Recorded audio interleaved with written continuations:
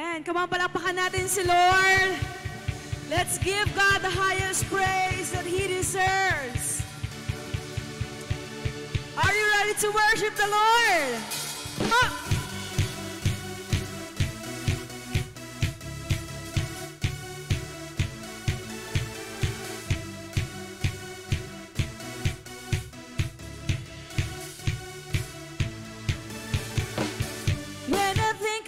you couldn't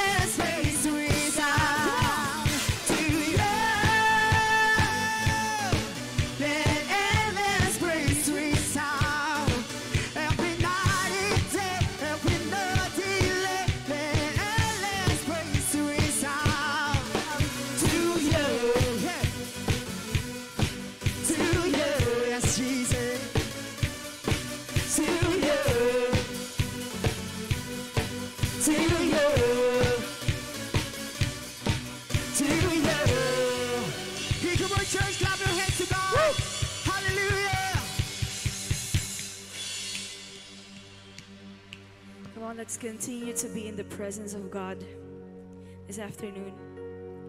Just invite the presence of the Lord right now.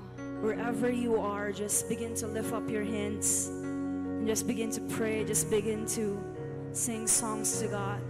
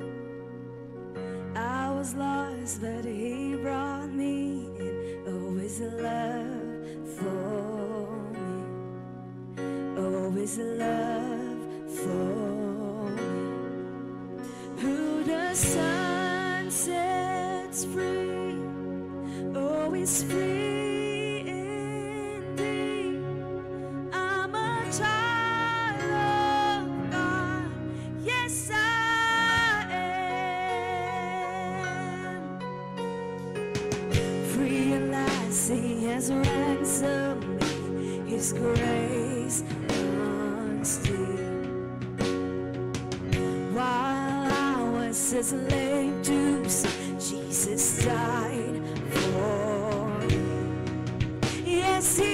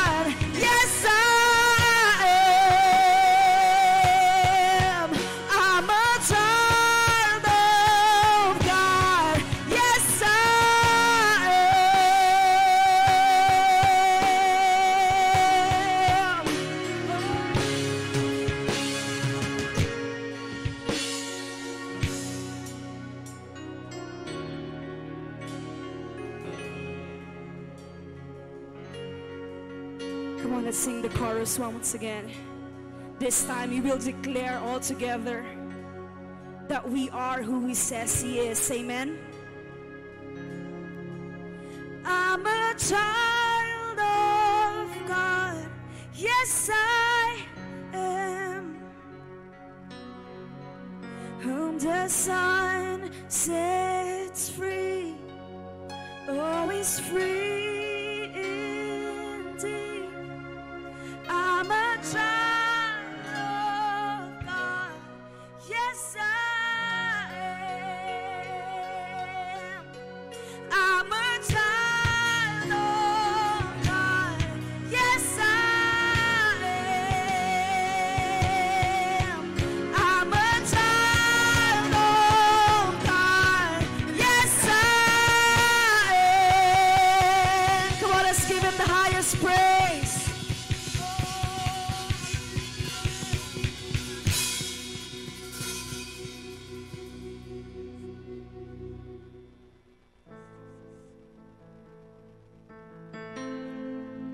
church, continue to praise. Continue to worship God in this place. Come on, church, close your eyes. Hallelujah, Jesus. Pour out your love today, Lord. Yes, Jesus.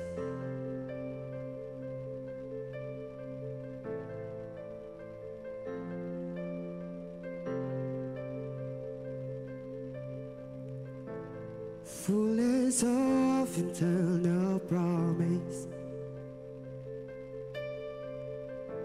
Staring in your sons and daughters, it reveals.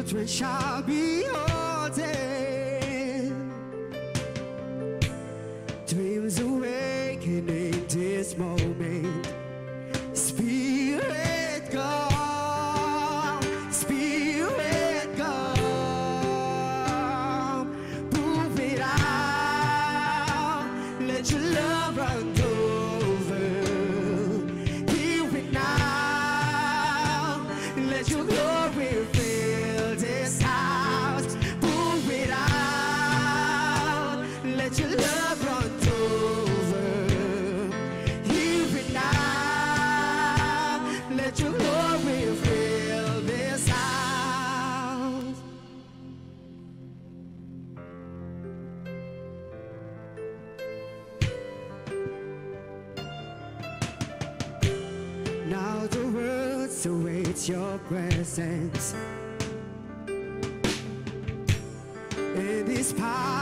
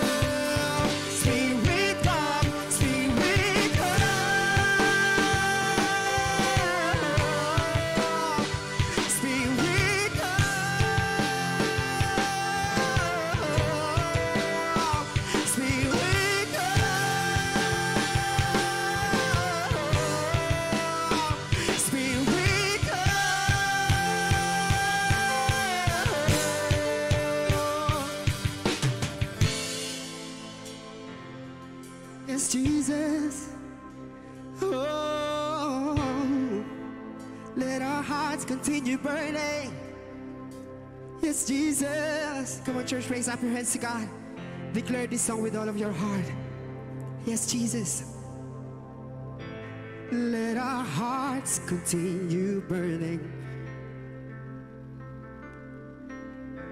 For our King is soon returning. As we hold to this assurance, Spirit come,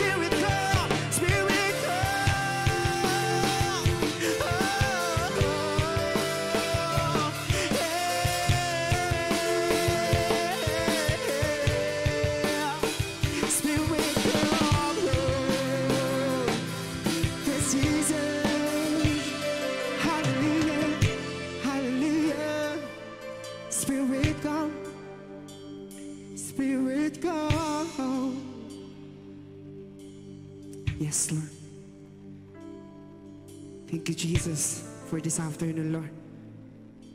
Thank you, Jesus, for your presence, Lord. Thank you, Holy Spirit. Continue to move in our lives, Lord. Lord, we acknowledge your presence in this place, Lord. Move, Lord. Lord, thank you, Jesus, for your word, Lord. We lift your name on high, Lord. We glorify you, Lord. In Jesus' name we pray. Amen. Sige, palakpakan po natin si Lord. Church. Clap your hands to God. Come on, church. Amen. Amen. Praise God. Praise God. Sige, you may be seated. Tayo po ay makakaupo na. Magandang hapon po sa bawat isa. I strongly believe that uh, God will going to do something great in our lives. No, kailangan lang pong maging bukas ang ating mga puso no, ang ating kaisipan sa hapon pong ito. Pinabati ko po lahat ng mga nanonood no, from Baguio and Pangasinan and Pampanga, Macau, Hong Kong, uh, Australia, and then um, saan pa ba? Canada and sa Middle East. So those who are watching on live stream, now I strongly believe that gala, that God allow you to tune in in this live stream because He's about to do something great in your life. Can we pray? Let us uh, close our eyes and let us bow our heads. Father, we thank you for allowing us to be here, to be tuned in in this live stream. For I strongly believe, God, that you are going to do something great in our lives.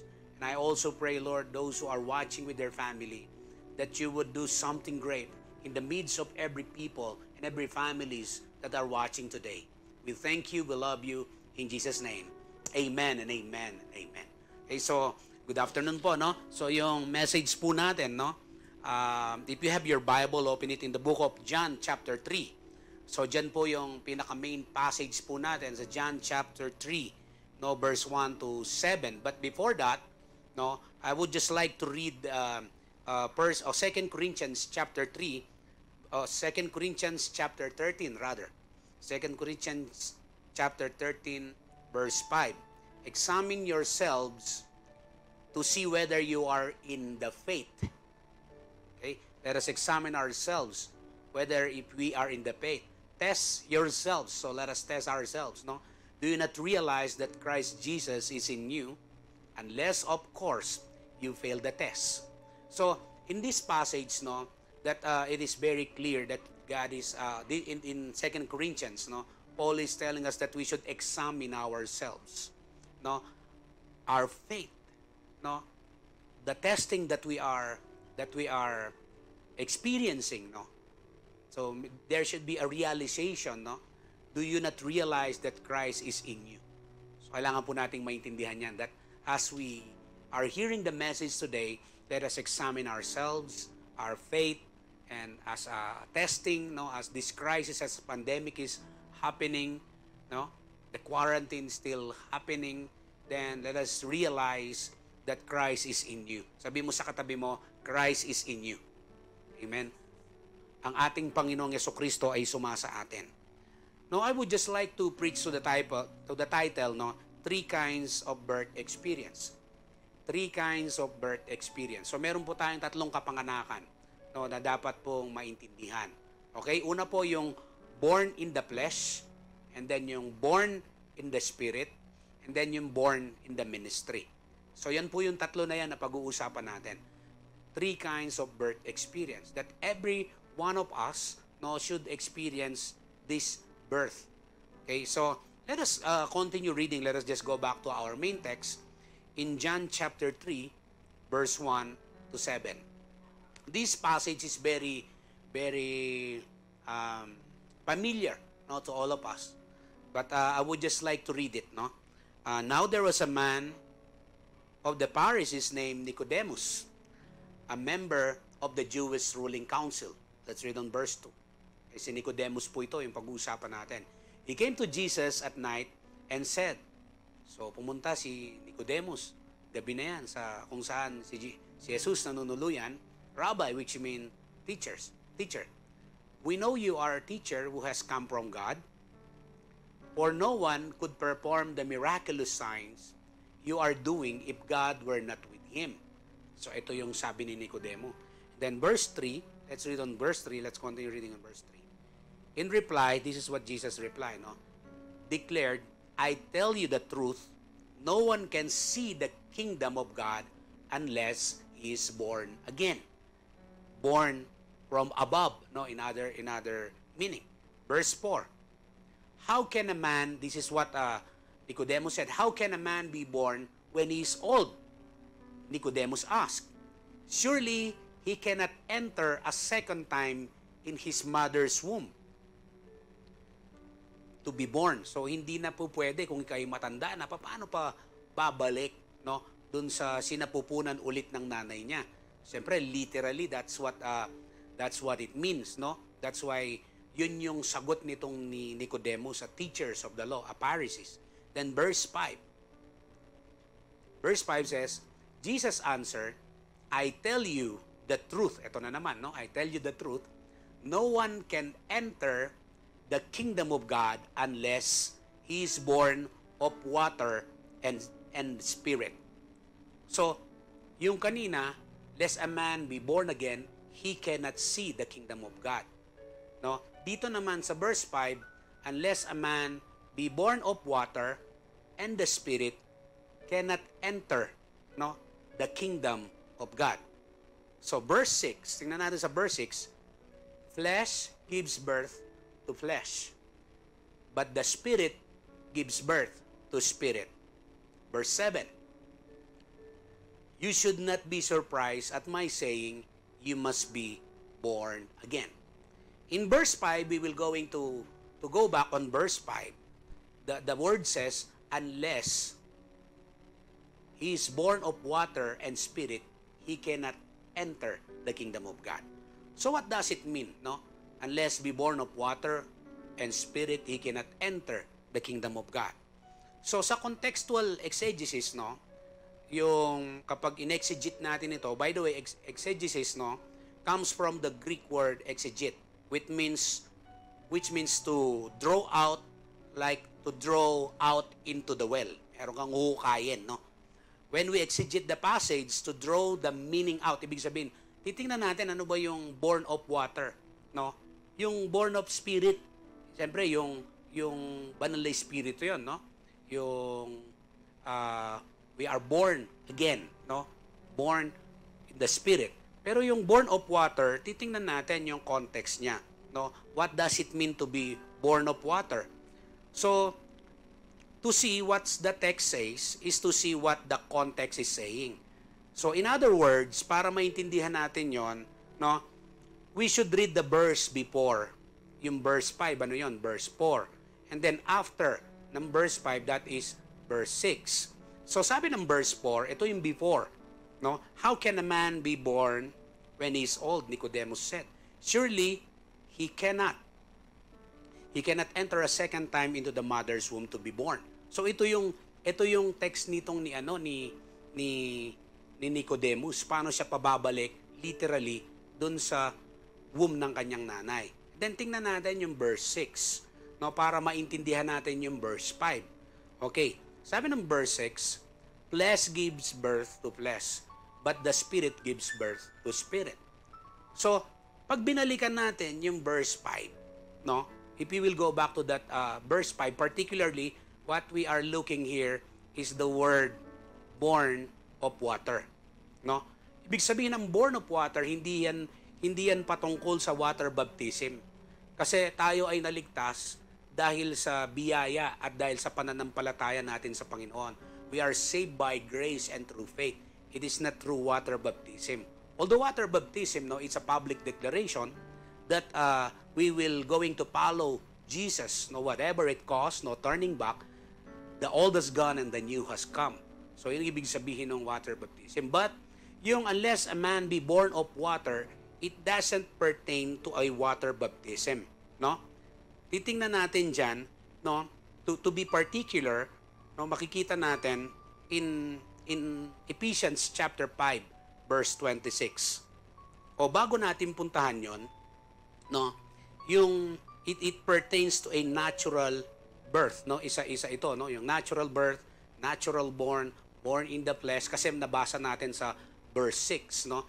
Flesh gives birth to flesh. But another thing, 'di ba kapag ipapanganak ang isang bata, 'di ba pag ipapanganak ang isang bata, ang isang sanggol, meron munang magbo-burst out, yun yung water. 'Di ba? Yung water na mauna muna yung tubig and then yung bata lalabas. So, and then another thing, no, ito, ito yung isa sa mga interpretation nito na which is will going to help us to really understand yung born of water in Ephesians chapter 5 verse 26. No, Ephesians chapter 5 verse 26, Paul is talking about Jesus cleansing the church, no? Kung paano i-cleanse ni Jesus yung yung yung church, no? It says here, no, in Ephesians chapter 5 verse 26, now that he might sanctify yan. Now, Sabi dito, Ephesians 5:26, no? I'm reading on King James version. Now, the, oh, that he might sanctify and cleanse it with the washing of water by the word.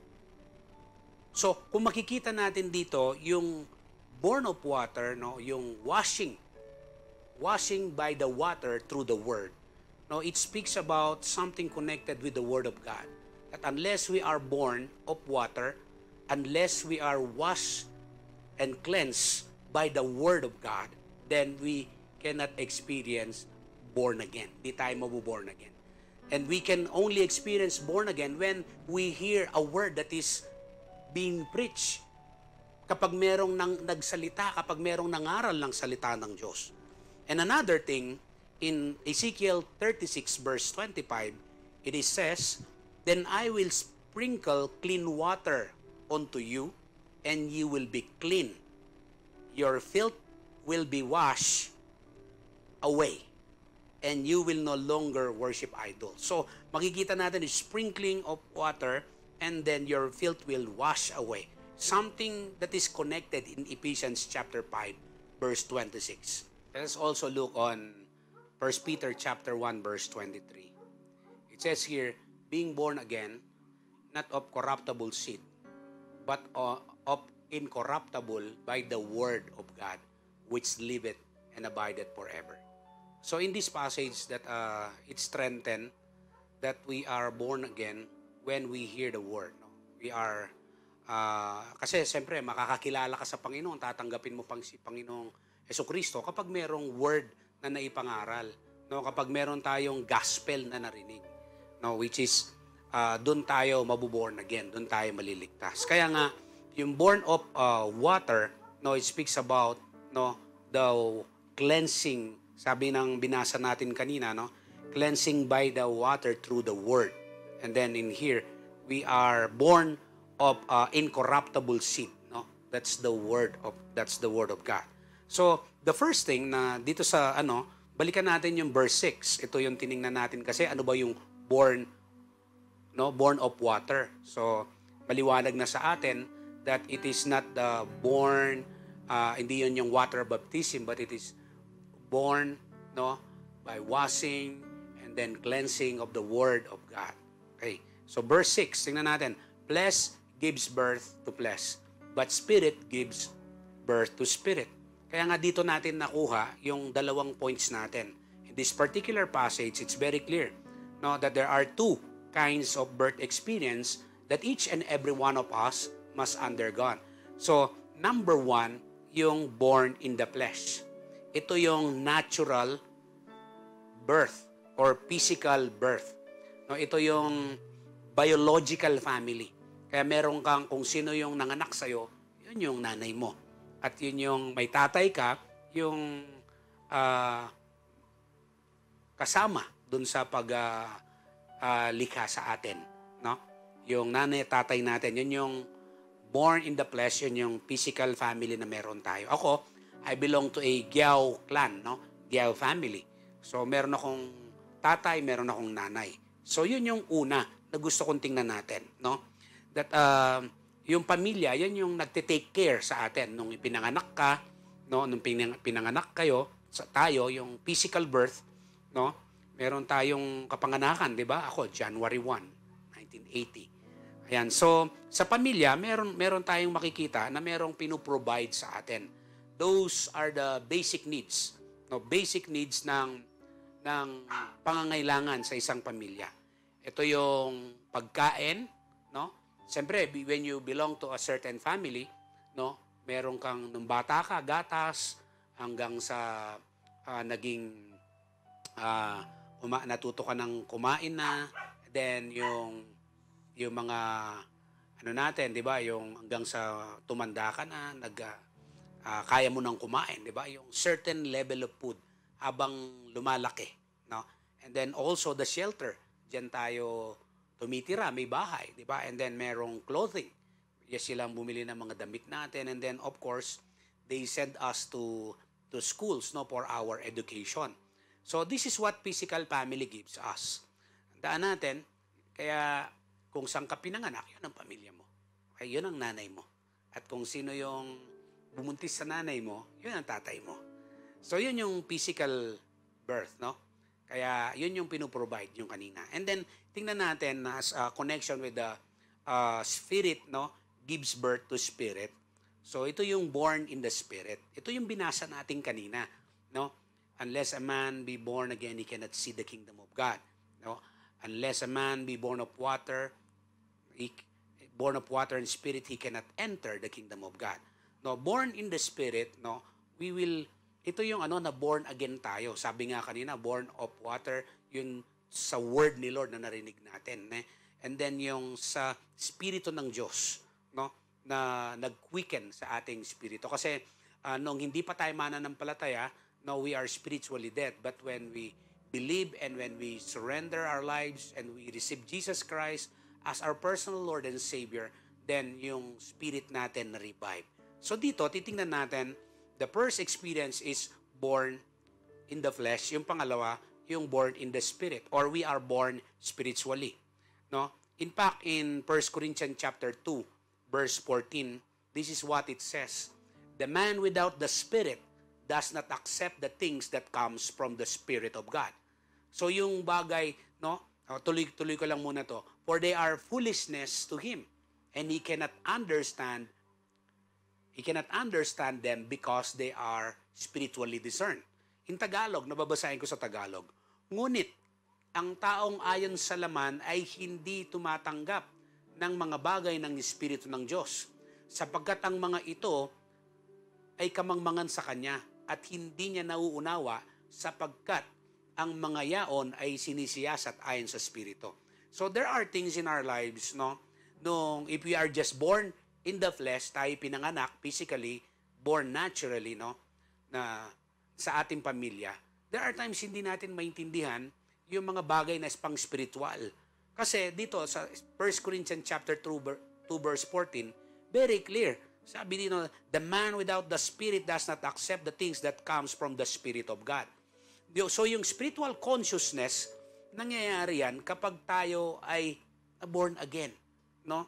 Sa pamamagitan ng gospel na, na, na narinig natin, sa pamamagitan ng ng ng mensahe, no, ng mabuting balita na narinig natin and then tinanggap natin ang ating Panginoon, then na born again tayo, nagkaroon tayo ng binigyan tayo ng spirito ng Diyos, no? Ito yung nabuhay. I mean, no, yung spirito ng Diyos at doon lang natin maintindihan yung mga bagay na pang spiritual. Kaya pansinin niyo yung mga ba, nung mga hindi pa tayo nakakilala sa Panginoon, wala pa tayong relasyon sa Panginoon, tingnan niyo ang ang reaction natin, di ba? Tingnan niyo how we persecute people na hindi natin pinapahalagaan yung mga bagay na pang spiritual. Why? Because only spiritual things, no? Only spiritual people can understand spiritual things. Because spirit gives birth to spirit. Let us let us look also in Ezekiel chapter 36. Ezekiel chapter 36, let us start on 26 up to 27. This is what it says. I will give you a new heart, bagong puso, and put a new spirit in you. Okay? So put a new spirit in you. I will remove from your heart of stone and give you a heart of flesh. So tingnan muna natin ito. I would, I would just like you to focus on this, no? God will going to give us a new heart and put a new spirit. And God will going to remove a heart of stone. Kasi bakit? Dati, nung if we are just born in the flesh, wala tayong kaunawaan, wala tayong consciousness about the spiritual things. No?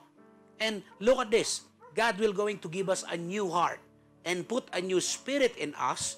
And God will going to remove a heart of stone. And God will going to give us the heart of flesh. Anong ibig sabihin yan? Yung pusong bato, tatang papalitan ng Lord at bibigyan niya ng puso na laman. Ibig sabihin yan, a heart that is so receptive the heart that is longing for God, for spiritual things. And let, let's continue reading on verse 27. And I will put my spirit in you. Tingnan nyo ha. And I will put my spirit in you. Why? To move you to follow my decrees. So that is the very purpose. That's why God put His Spirit in us. So that we can follow His decrees. And then, be careful to keep my laws. Para makasunod tayo sa Panginoon, at ito'y ating magawa at magawa natin yung kanyang kalooban sa ating mga buhay. We can only do this no if the spirit of God no is upon us. Kaya nga spirit gives birth to spirit. So God gave us the spirit here. Sabi dito, I will put my spirit in you so that we can follow and carefully do his laws. So, makikita natin dito no nung yung buhay natin na ipinanganak yung yung born in the flesh and then itong born in the spirit, makikita natin yung difference.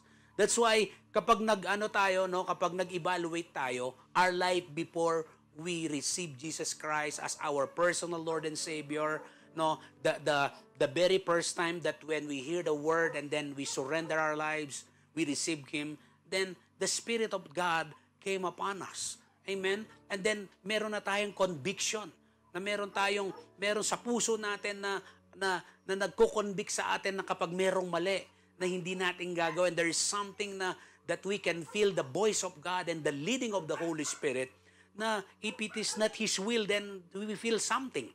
Ba pero yon wala. Hindi natin nararamdaman yon before. We are not feeling that before. Kasi no hindi hindi naman tayo no born in the spirit.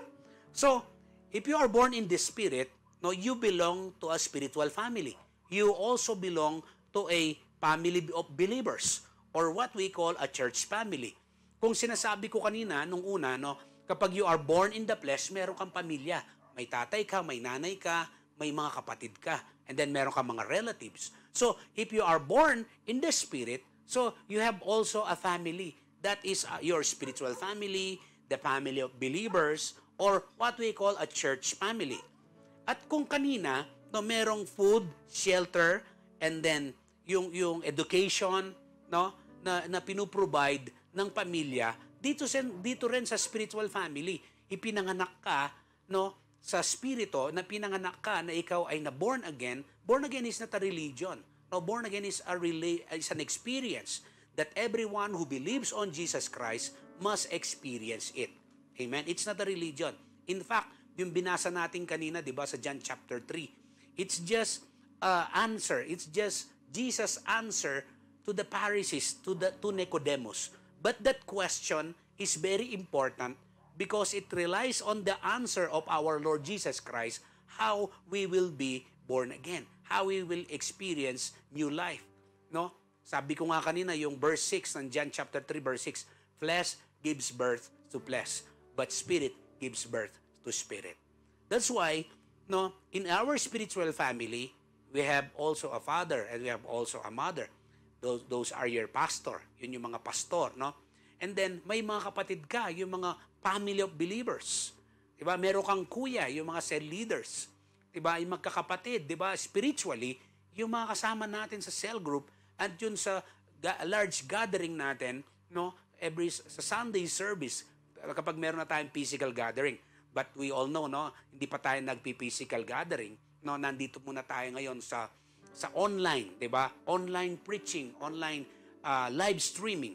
But I would just like to focus also na kung ang physical family or born in the flesh, you have you belong to a certain family, no? So meron ding responsibility 'yon, no? At ito rin sa church, meron ding responsibility, no? The church family, no, will provide a basic spiritual needs. Your basic spiritual needs. Ano yan? Spiritual food. No, ipoprovide ng spiritual family or church family yung spiritual food natin. No? Imagine, kung ikaw ay pinanganak, walang nagpakain sa'yo physically. So later, mag- magkakasakit ka and later on, mamamatay ka physically. The same thing spiritually. No? If we are born in the Spirit, we have a spiritual family. So, they provide your basic spiritual needs. That is, the first thing is spiritual food. Meron tayong pangangailangan. No, yung spiritual food, yan yung salita ng Panginoon that will help us no to nourish us to strengthen us as a as a believer no merong pastor merong merong cell leader yan yung mga ate mo at meron kang kasama kaya meron tayong cell groups di ba meron tayong mga training and how we do cell groups how we how we do Sunday service online there is a food that is available on the table today and that is the Word of God, our spiritual food. Yan yung magpapalakas sa atin. Yan yung magbibigay ng balanse no sa ating nutrisyon physically nung tayo ay mga ipinanganak at even ngayon and spiritually din para sa ating paglago, para sa healthy spiritual life natin, we need spiritual food. That is the Word of God. Number two, also, spiritual shelter. Spiritual family is just like our shelter. Kapag umuulan, kapag bumabagyo, 'di ba? Meron kang tahanan. 'Di ba? Ganon din kapag may unos ng buhay, may bagyo ng buhay, meron kang simbahan na po pwedeng magprotekta sa iyo, na po pwedeng na po pwedeng ah ah, mag, ma, pwede mong lagakan. And the, the third thing is spiritual covering and protection. No, sa church, may covering. Hindi yung pagkukonsinte, but covering and protection para hindi mapahamak. Okay? Para hindi yan, hindi yan ano, hindi yan ma, mag, mag-isa at walang kasama. Ganon din sa pamilya, di ba? Physically. Kaya may kapatid ka, may kuya ka, may nanay ka, no, nandyan yan, parating nakaalalay. The same thing with the church. So yan po yung yan po yung meron tayo, no? Kaya yung born in the spirit, meron kang pamilya spiritual. Pang-apat po, no, part nitong born in the spirit, merong spiritual education. Kung yung physical education sinisend tayo sa school, dito ho merong education, no? Ito po yung may mga trainings tayo, may mga mentorings tayo, may mga process po tayo na para po tayo ay ma-educate sa salita ng Panginoon hanggang po tayo ay hindi lang naging mananampalataya, kundi tayo ay naglilingkod din sa Panginoon. Tandaan po natin na we are saved to serve others. So, alam niyo, no, uh, God created the church no, to help us fulfill our God-given purpose in life. Ulitin ko po yun, no? God created the church to help us fulfill our God-given purpose in life. So kaya po may simbahan, kaya may church family to help us to fulfill our God's given purpose in our lives. Kaya tingnan nyo, no? Yung buhay natin dati na, yes, we are born in the flesh, no, but when we are born in the spirit, no, meron tayong pamilya, spiritual family, na tumutulong sa atin para malaman natin ang purpose at hindi lang malaman, kundi magawa yung purpose natin sa buhay. Okay, alam nyo ba na in my personal experience, no? In my personal experience, no, the church helped me to know and to love God. Ito ko yung natutunan ko personal. The church helped me to know and to love God. No, nung ako po yung nag-church, ito po yung natutunan ko. Nakilala ko ang Panginoon at hindi lang nakilala ang Panginoon, kundi natutunan ko kung paano ko siya mahalin. Kasi pala, siya nang unang nagmahal sa akin. So, the church also helped me to center my, life to God. Kaya ito yung ito yung mga benepisyo na kapag tayo ay nasa Panginoon, kapag tayo ay nasa church family. No, the church helped me, no, to make Jesus and his word as my foundation in life. No, ang simbahan ho, ang spiritual family, tinulungan po ako nito para si Jesus at ang kanyang salita ang maging pundasyon ng aking buhay. Hindi yung mga material na bagay na meron ako, hindi yung mga uh, hindi yung mga achievements or mga material things that this this world no can offer, but hindi eh, kundi yung natuto ako na si Jesus at ang kanyang salita at ang maging pundasyon ng buhay ko. No? And then the church helped me also to develop my faith and confidence in God. Dito ako na-develop, yung na-develop yung pananampalataya ko sa Panginoon and then yung my total confidence, my trust no sa Panginoon. 'Di ba yung nung ano, 'di ba nung wala tayo na hindi tayo mananampalataya, we are not yet born again, we don't have a relationship, no? We don't understand spiritual things. Okay lang 'yan eh.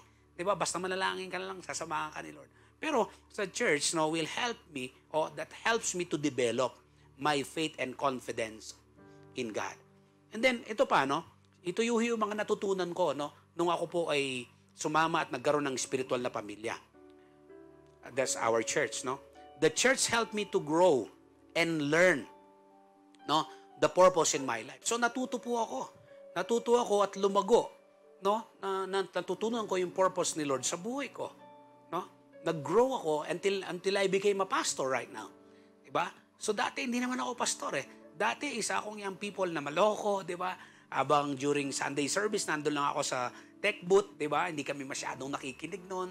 So that's my life before. Yes, I go to the church, but uh, I, I, I, I did not grow. Diba? Pero, yun nga, no? Pero nung sa simula, hindi ako nag-grow, pero paunti-unti na may nagsising in sa puso ko. Tama?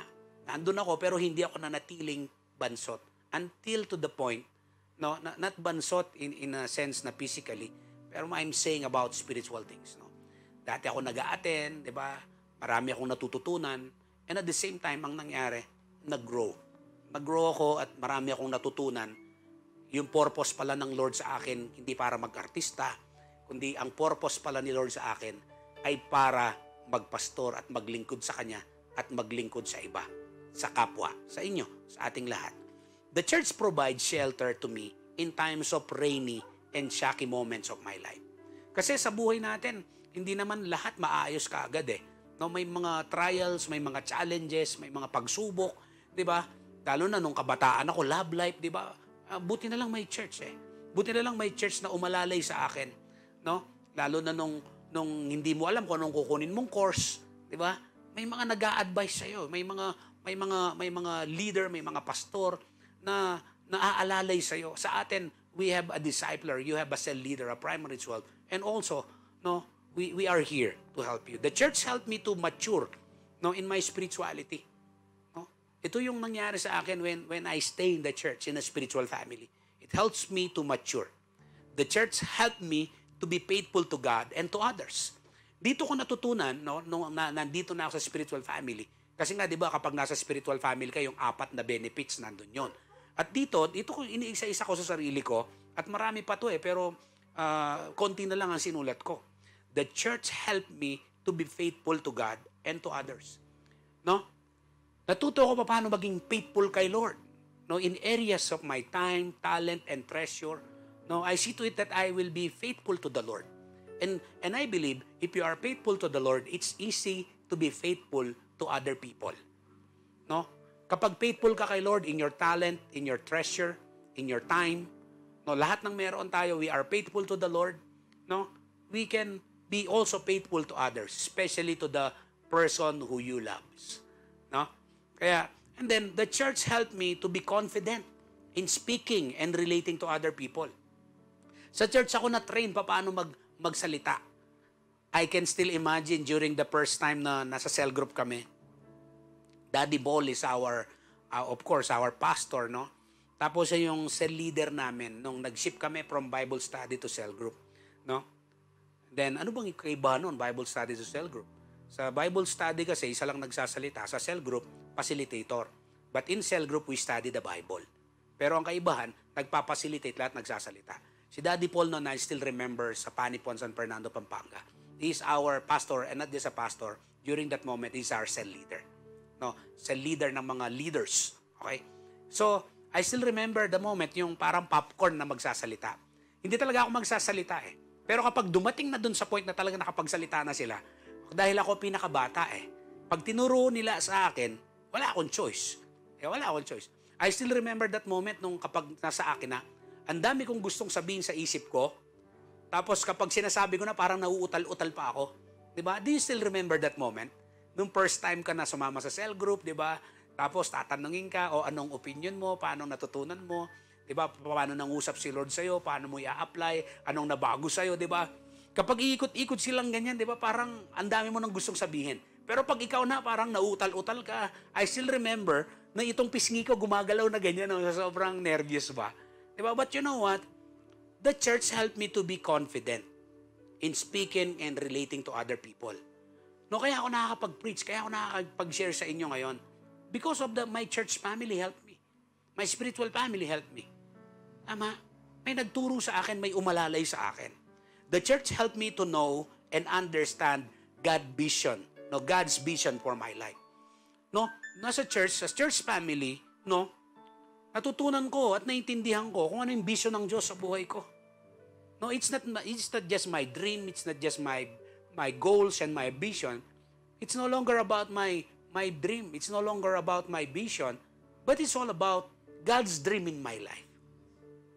It's far better, no?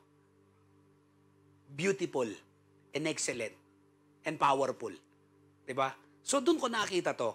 Alam nyo, the truth is no institution, organization can help you center your life around God but the church. Wala akong institusyon. Pag pumunta ka sa sa club, nanonood ka ng sine, pumunta ka ng mall, nagbulakbol ka, hindi naman kanila matutulungan para masentro mo yung buhay mo sa Diyos. Spiritual family ang tutulong sa iyo niyan. God did not put us on earth to be self-centered, but to be God-centered. Ulitin ko yan ha. God did not put us on earth to be self-centered. Hindi lang tayo nilikha ng Diyos na nandito tayo ngayon para maging sentro tayo. We will be self-centered, we will be uh, selfish. No, hindi ganon. That God put us on earth to be God-centered. Kundi yung buhay, na, buhay natin at ang purpose natin nakasentro na sa Panginoon. Yun yung natutunan ko. Yun yung mga bagay na benepisyo na nangyari sa buhay ko. Then how do you know God is the center of your life? Paano mo ngayon malalaman no as a spiritual uh, uh, part of a spiritual family, no, as a born uh, born in the spirit, no kasi ma-identify natin ito eh. No, kung tayo ay Kristiyano na, tayo mananampalataya na, dapat nating ito yung ating nakikita at ito yung mga benepisyo at ito yung po pwedeng mangyari sa, sa atin. Kung yun ay nangyari sa akin, maaring ding mangyari sa iyo. Okay? So how do you know God is the center of your life? Paano mo ngayon malalaman na si Jesus ang sentro ng buhay mo? Number one, God is the top priority of your life. So, malalaman natin na si Jesus ang sentro ng buhay natin kapag siya ang pinakapangunahin sa buhay natin. He is not number he is not number two, number three, number four. He is the number one. So, anong ibig sabihin nun? Every decision we make, we do not decide on, on our own. We we go to God first. Pupunta muna tayo sa Panginoon mananalangin. ba? Pag hindi ka pa rin sure, pupunta ka sa pastor, 'di ba? Or sa cell leader mo. Kasi bakit? Ang mga desisyon natin, hindi lang yung pang sarili at pang pamilya. Ang desisyon natin ay kung ano yung kalooban ng Diyos. Ito bang desisyon ko na to makakapagbigay kapurihan pa sa, sa Panginoon? Ito bang desisyon ko na to matutuwa ba si Lord? Ito bang desisyon ko na to marirepresent ko ba si Lord? Ito bang desisyon ko na to meron bang meron bang future gain ito para sa spirituality ko? Tama? Or it will going to benefit my family or the church? So number two, no? When we develop a habit of reading and doing the Word of God. So, yan po, no? Yung una, yung priority natin si Lord eh. Yung pangalawa, yung magdi-develop tayo ng habit. Nakakapag-develop tayo ng habit na nagbabasa na tayo ng salita ng Panginoon. Before, wala tayong, before, wala tayong appetite dyan eh. No, before, wala tayong, wala tayong ano sa buhay, di ba?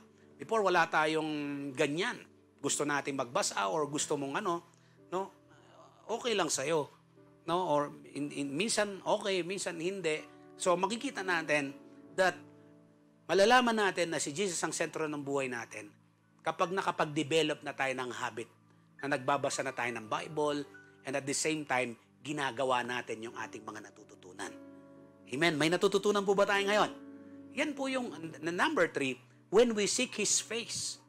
No, pag hinahanap na natin yung mukha ng Diyos, And not just His face, but His ways in prayer. No?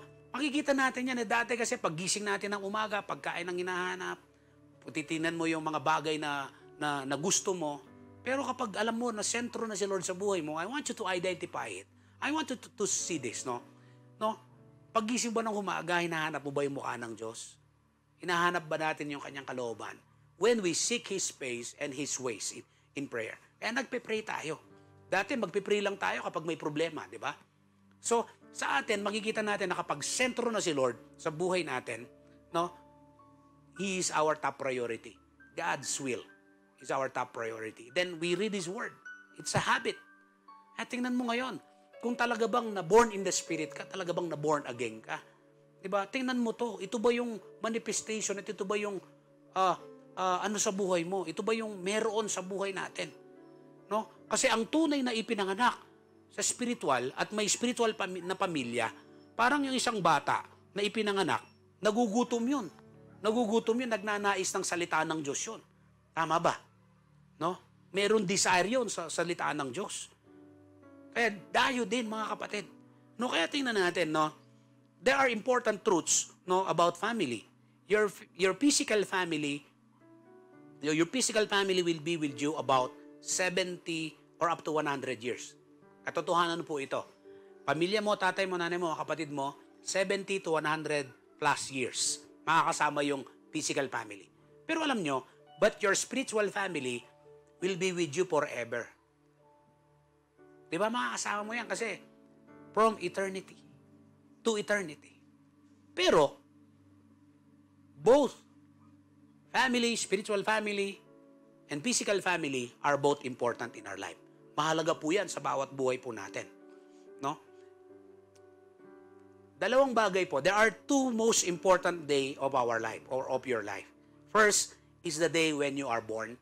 Second is the day you discover the reason why. So, pinaka-importanting araw ng buhay natin nung tayo pinanganak at nung malaman natin ng dahilan kung bakit tayo pinanganak. Kaya ito, hindi lang tayo basta pinanganak sa spirito, hindi lang tayo basta born again, hindi lang tayo basta nakakilala sa Panginoon at nasa church, nasa spiritual family. No, kadalasan kasi marami mga tao, yes Christian sila pero hindi sila hanggang doon na lang. They just go to church, they just go home and then they do their daily routine. No, when you are saved, no, tandaan natin, we are not just saved to to worship the Lord. We are also saved to serve others. And as we serve the Lord, it's a reflection of serving others, no? Na kapag tayo nagsiserve kay Lord, no, may manifestation 'yon na nagsiserve tayo sa iba. Kaya nga, maraming mga mananampalataya ngayon, they just go to church, they just listen. Pero hindi sila nagsiserve kay Lord. They, they have experience born in the flesh, born in the spirit, yung spiritual family. At gusto ko na, na pangatlo na tingnan natin that we should be born also in the ministry. Nandyan tayo sa, sa spiritual family, hindi lang para pumunta, umalis, hindi. Kundi kasama tayo dyan para tayo ay maglingkod sa Diyos. Kasama sa ministeryo. And there are a lot of people right now, they receive Jesus Christ as their personal Lord and Savior. They are happy reading the Word of God. But I want you to understand, hindi lang tayo mananatiling nakakilala at kasama sa pamilya. Kailangan naglilingkod tayo sa Panginoon. At tingnan nyo, isang, isang pamilya, pinanganak, nag-aral, nagtrabaho, tumulong, tapos nagkapamilya. ba? So, ganun eh. Ganun din sa atin. No, kung tayo ay dinala sa church, tayo ay naging kristyano, tayo ay nakakilala sa Panginoon, tayo ay ninori spiritually, no? And then tayo ay tinulungan, lumago hanggang sa mag-mature and then kasama doon yung paglilingkod sa Panginoon. In fact, no, in 2 Corinthians chapter 5 verse 17 to 21. This is what it says. Therefore, if anyone is in Christ, he is a new creation. The old has gone and the new has come. So, magkikita natin dito, nung sabi dito, no, if anyone is in Christ, no, the old has gone and the new has come. So, ano yung mga bagay na bago na sinasabi dito? Kung dati, nung hindi tayo, nag, hindi tayo kristyano, hindi tayo naglilingkod kay Lord. Hindi tayo nagpapagamit kay Lord, hindi tayo nagse-cell group, hindi tayo ma-attend ng, ng, ng ano, di ba? Hindi tayo nagpapa-training, hindi tayo ma-attend ng cell or hindi tayo, hindi tayo nagli-lead, di ba? Hindi ka naglilingkod kay Lord. So yun yung lumang buhay natin, nabubuhay tayo sa mali. But this time, sabi niya, ang sino man ang na kay Kristo, hindi, sino man ang nakipag-isa kay Kristo, wala na yung luma. Ano yung luma? Hindi naglilingkod kay Lord. Ano yung luma? Walang spiritual uh, consciousness. Di ba? Yung luma nating buhay. We are just born in the flesh. We are not just yet yet born in the spirit. Pero nung na born in the spirit na tayo, we are, we belong to a certain spiritual family. Kailangan no, maglingkod tayo sa Panginoon. Ano yun? The new has come. So ano yung new? Tingnan natin, basahin natin yung yung yung next verse. Makikita natin ano ba yung new diyan. Okay. Verse 19 o 18. All this is from God. Tingnan nyo to ah. Yung luma nating buhay wala na, bago na. And all this is from God who reconciled us to Himself through Christ through Christ and gave us the ministry of reconciliation. So tingnan nyo, anong unang-unang ministry na binibigay ng Lord sa atin?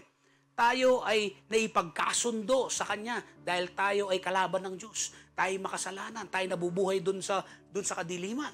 Diba? Pero tayo niligtas ng Diyos, kinuha niya tayo mula sa kadiliman, dinala niya tayo dun sa Kanyang kaharian. Tama ba? So now, And God, o Christ gave us the ministry of reconciliation. Yan yung una-unang ministry na meron tayo. Nung tayo ay naipagkasundo sa Panginoon, dahil nagkaroon na ng kaayusan ng ating relasyon sa Panginoon, so God gave us the ministry. That's the ministry, reconciliation. We can reconcile other people to Jesus just like us before. May taong nagwing sa'yo, naglapit sa'yo sa Panginoon. May pinrit siyang gospel sa'yo, yung word ni Lord. Pinaniwalaan mo yung pananampalataya, no? Na-establish, na, na, na-stir up sa puso mo, tinanggap mo si Lord. Yung Espiritu ng Diyos nasa iyo para tulungan kanya, tulungan niya tayo para gawin at mabuhay dun sa kalooban ng Diyos. At tinanggal ni Lord yung heart of stone and He gave us the heart of flesh. At hindi lang nagtatapos doon. Kasi naipagkasundo tayo ng Diyos, ng ating Panginoong Yesus sa Ama. Tinubos niya tayo sa ating mga kasalanan. Sa kanyang mga sa pamamagitan ng kanyang banal na dugo, tayo napatawad. God gave us the ministry of reconciliation. Kaya lahat sa atin, no, yes, we are in the church. We belong to a certain family, a spiritual family. But I want you to understand, no, let us be born in the ministry. That there is, we should involve ourselves in the ministry. Sa gawain. Anong unang-unang gawain? Hindi tamborin, hindi ushering, ano, reconciliation. Ano ibig sabihin ng reconciliation? No, yung tinutulungan natin yung mga walang relasyon kay Lord na para maipagkasundo sa Kanya. 'Di ba? Yung connection, yung rebuilding ng relationship, yung yung nawala at naputol na relasyon ng tao sa Diyos, yun yung yun yung ministry na una-una nating gagawin that we will reconcile people to Christ. Amen. Let's continue reading in verse 19. Tingnan natin sa verse 19. Okay? And God was reconciling the world to Himself in Christ, not counting men's sins against them, and He has committed to us. Tingnan nyo ha, yung kanina, diba, He gave us the ministry of reconciliation. Ito pa, ito naman, He has committed to us the message of reconciliation. So, He has committed to us the message. Yung kanina, He gave us the ministry. He did not just give us the ministry of reconciliation, He committed to us the message of reconciliation. He gave us the ministry and He committed us to do the ministry of reconciliation. At tingnan nyo po, no? Verse 20. Tingnan natin sa verse 20. We are therefore Christ's ambassador. Tingnan nyo. As though God were making His appeal through us, we implore you on Christ's behalf, be reconciled to God. Alam nyo, ibig sabihin ng ambassador? It is a God's representative. Yan ang ibig sabihin niyan. For example, nasa ibang bansa ka, for example, nasa Macau ka, merong tinatawag na Philippine Embassy dyan sa Macau. Kung nasa Hong Kong ka, meron din yan. Sa Amerika, meron din yan. Yun yung representation ng Pilipinas dun sa bansa na yon. Lahat ng pangangailangan ng mga tao doon sa lugar na yon, ang representation ng kanilang bansa, yung embassy. At doon sa loob ng embassy, meron tinatawag na ambassador. Yun yung tao na embodiment na representation ng ng, ban- ng isang bansa. For example, sa Pilipinas. So, nire-representa niya yung bansa. So, ganoon din sa atin. We are the representative of Christ wherever we go. So, kailangan maintindihan natin yan. At kaya merong, kaya merong, merong ano doon, kaya merong ambassador doon. Kasi yung ambassador na yon, ipapatupad niya yung, yung batas ng Pilipinas. At pangangalagaan niya yung mga Pilipino doon sa lugar na yon. So, ganun din sa atin. Ipapatupad natin yung kalooban ng Diyos na kung nasaan man tayo. Sa trabaho mo, sa pamilya mo, sa negosyo, sa barangay, sa city, sa province, sa, sa, sa bayan ng, sa bansang Pilipinas at sa buong mundo. Wherever we go, we should realize and understand that we are Christ's representative. We are Christ's ambassador. Yan ang ibig sabihin niyan. Ano ibig sabihin? As though God were making His appeal through us. Tingnan nyo, kapag merong gustong gawin si Lord, ipapadaan niya sa'yo. Sasabihin niya sa'yo. Ganun eh. Kapag merong gustong sabihin yung, yung, yung, yung bansang Pilipinas doon sa embahada, hindi naman yung ah, hindi naman yung presidente magsasalita kaagad eh. Hindi. Papa, i-relay ng presidente yung mensahe doon sa ambassador at yung ambassador ang magsasalita. Ganon din sa atin. Amen? Though God were making His appeal through us. I-represent natin siya. Saan man tayo nandoon. Kaya yung, if we are born in the flesh, meron kang pamilya. If you are born in the spirit, meron ka rin pamilya. Spiritually, ito physically. At kapag nasa pamilya ka na ng spiritual, wag lang tayong manatiling taga-upo, taga-kinig, kundi mag-involve tayo sa ministry. At ang unang-unang ministry na binigay ni Lord sa atin, yung He gave us the ministry of reconciliation. He committed us the message of reconciliation. Ano pa? Ito, oh, ginawa tayong ambassador. You know, verse 21. Tingnan natin sa verse 21. God made him who have no sin to be sin for us, so that in him we might become the righteousness of God. Ano? No? Kaya, ito yung lifestyle of a life that is born in the ministry. Ito yung lifestyle. Hindi mo kasi po pwedeng sabihin na you are born in the ministry tapos yung buhay mo ganun pa rin. Hindi, naglilingkod ka na eh. Naglilingkod na tayo. Pero ito yung lifestyle. 'Di ba? Living as a new creation. Yan, yan, ang, yan ang makikita. Kasi bakit? Yung verse, yung binasa natin sa verse 17 kanina, 2 Corinthians 5.17, mabasa natin dun eh. 'Di ba? Therefore, if anyone is in Christ, the old has gone and the new has come. So, new creation na tayo ngayon. Ibig sabihin, tayo bagong nilalang na. So, kapag tayo bagong nilalang, meron tayong bagong buhay. Tama ba? Kapag may bagong buhay tayo, meron tayong bagong habit. Meron tayong dapat na bagong ginagawa. So ano yon? Living as a new creation, ano bang ginagawa natin? We pray. Dati hindi tayo nagpipray. Di ba? And then ano, we fast. Kaya nga di ba, may prayer and fasting tayo ngayon mga kapatid. Di ba, matatapos siya ng August 4. Morning, di ba? Morning po, breakfast. And then, we do the devotion. Ito yung bago sa atin. Dati hindi naman tayo nagbabasa ng Bible eh. Tapos ito pa, ano po yun? Nag-a-attend na cell group. Diba dati, anong cell group, cell group, basta nagsimba. Hindi, ito yun eh. Ito yung new creation. Ito, ito yung new things that happen. Tapos ano ba? Nag-church tayo ngayon, di ba? Online. Tapos may training. Lahat yan ngayon, no? Yung prayer, fasting, personal yan. Yung devotion, personal yan. Ngayon yung cell group, church and training, online yan.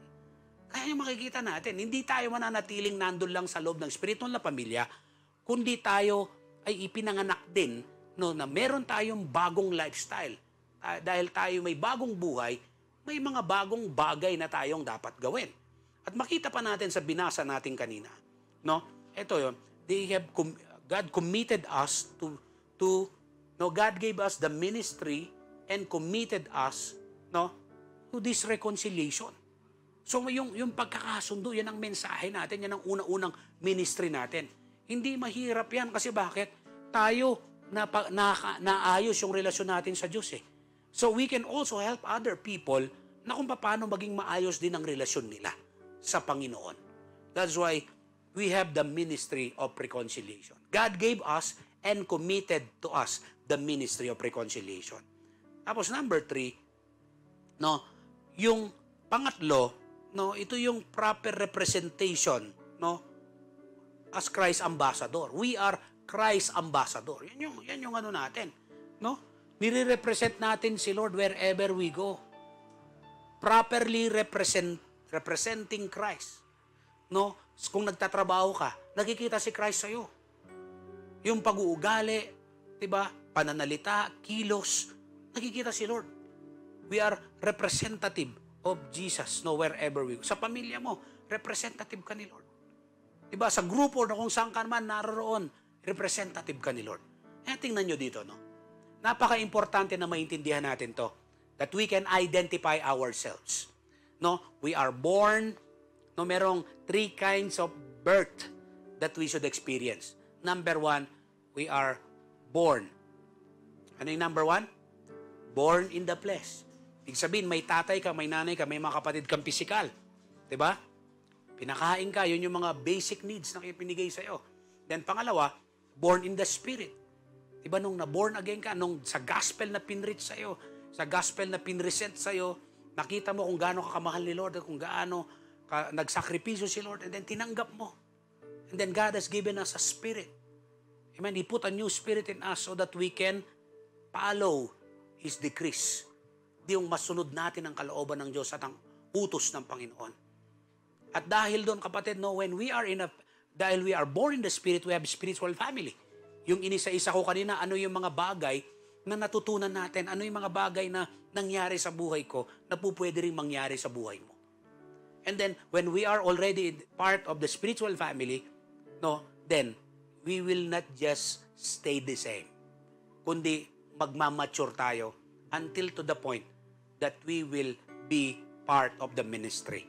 We are saved not just to listen, not just to sit, but we are saved to serve the Lord. And as we serve the Lord, we will serve other people. Kaya mga kapatid, mga magulang at kapatid na nanonood ngayon, I want you to identify this. Talaga bang na-born again ka? Talaga bang na-born in the Spirit ka? Kasi may manifestation sa buhay natin. Kagaya ng isang bata na pinanganak, meron siyang hunger and thirst na um, nagugutom at nauuhaw. Ganon din sa atin. Kung tunay tayong naging kristyano, merong hunger sa atin eh. Merong gutom at kauhawan. Gutom sa salita ng Diyos at kauhawan sa kanyang presensya. At yan yung magpuprotect sa atin, yan yung magtitrain sa atin, yan yung tutulong sa atin para tayo, para maintindihan natin yung kalooban ng Diyos. At hindi lang maintindihan, kundi magawa natin. At para ma makita natin yung vision ni Lord sa buhay natin at magawa natin. Kaya, napaka-importante nito. If you are watching on live stream right now, wala ka pang relasyon sa Panginoon.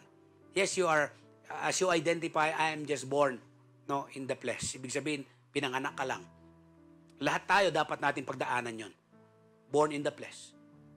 Pero wala ka pang relasyon sa Panginoon. I'm telling you right now, surrender your life to God. Jesus died for you and for me. He redeemed me. Itinubos niya, tinubos ng Panginoon yung aking mga kasalanan, yung ating kasalanan. Sa pamamagitan ng kanyang banal na dugo, hinugasan niya yung ating mga kasalanan.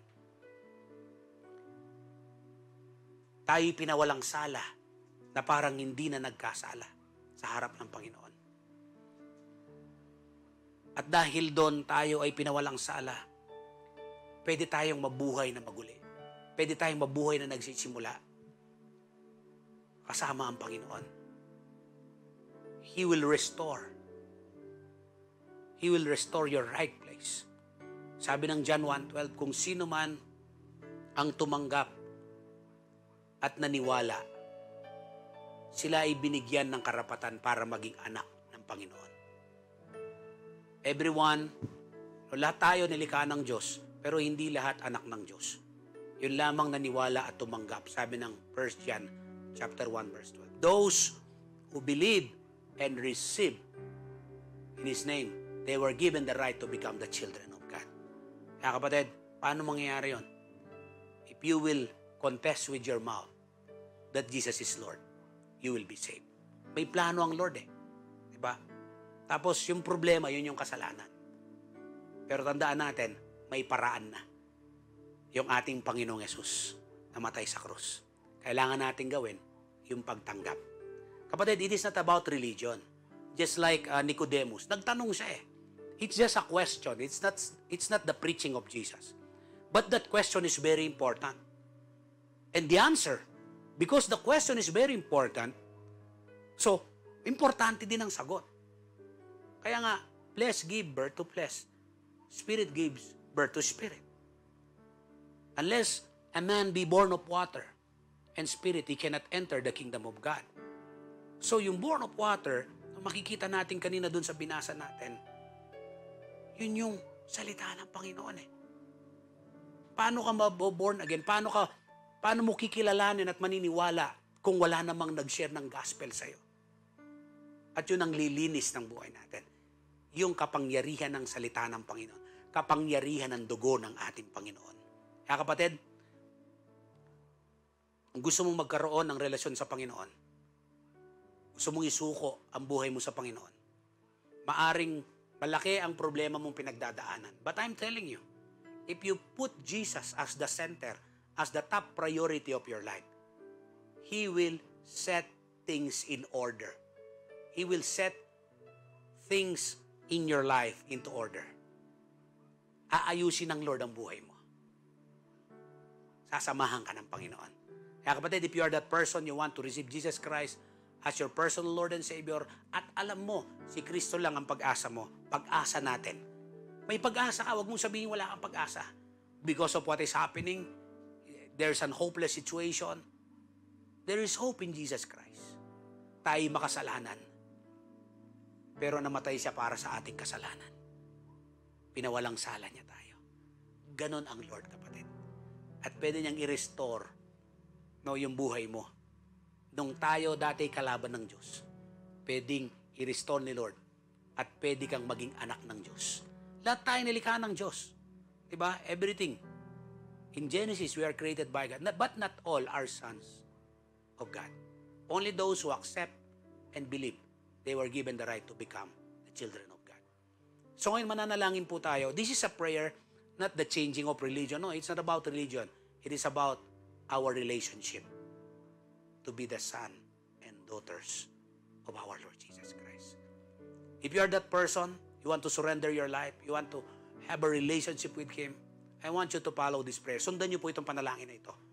Sabi mo, Panginoon, patawarin niyo po ako sa aking nagawang pagkakasala. Nasa, naisip, nasalita, o nagawa. Sinasadya man o hindi, patawarin niyo po ako. Kinikilala ko po na ako ay isang makasalanan. Kinikilala ko, Jesus, na ikaw ay namatay dun sa krus ng Kalbaryo para sa aking kaligtasan. Tinatanggap kita, Jesus, bilang Diyos at aking sariling tagapagligtas. Paghari ka sa aking buhay. Mula sa oras na ito, ikaw ang masunod. Ikaw ang maghari sa aking buhay. Sa pangalan ni Jesus. Amen and amen. If you prayed that prayer, no, I would just like to congratulate you.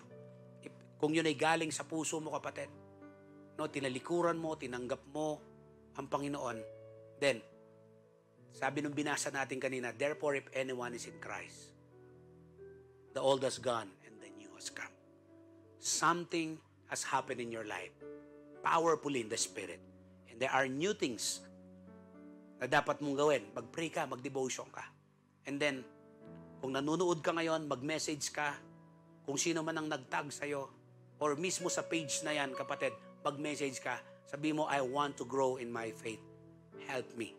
Then someone, spiritual people who will going to help you to grow in your faith. At para naman sa mga sa mga nasa church, sa mga nasa church family, you are not just saved to sit. We are saved to serve God. And nasaan our expression of serving God is we serve people. Kaya mga kapatid, lahat po tayo dapat maintindihan ito. We are born in the flesh, we have physical family, we are born in the spirit, we have spiritual family, and we belong to the spiritual family, then there is an desire no, to serve the Lord in the ministry. We are born in the ministry. Let us pray. Father, we thank you for allowing us to hear this message. The truth about being born in the flesh, in the spirit, and even in the ministry. I pray, God, that each and every one of us, through the power of your word, that we have received it, that you have spoken to us, that you have speak to each and every one of us, Lord. Na kung meron kaming kailangan ayusin, Panginoon, kung kailangan, Panginoon, na, na that there is something wrong in our hearts, in our lives, in our lifestyle, Lord, kailangan ayusin namin. So help us, Lord. If we are in the spiritual family, Lord, wala pa sa ministry, Lord, yung cell group ministry of reconciliation, winning people, evangelizing people, making them disciples, Lord. If we were, na, if our lives, Lord, is not a good representation of your, of your kingdom, Lord God, forgive us, Panginoon. And we want to represent you well in our family, in the marketplace, in the workplace, wherever we go, na ikaw ang makita sa amin. Kami representative mo, Panginoon. We can advance your kingdom here on earth. We can win people. We will we will help them to grow. As they mature, we, they will serve you also. We thank you. We love you. In Jesus' name. Amen and amen and amen. God bless you, no? God bless you po mga kapatid, no?